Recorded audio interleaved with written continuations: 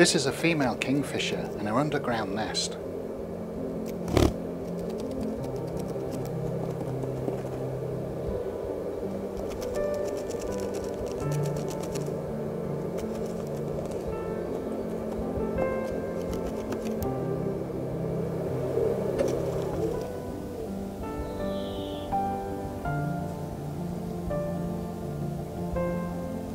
She's starting to lay a third egg.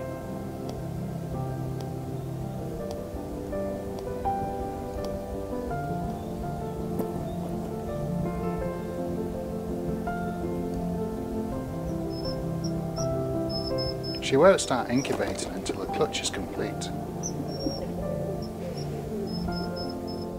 And here's a partner coming to see the new egg.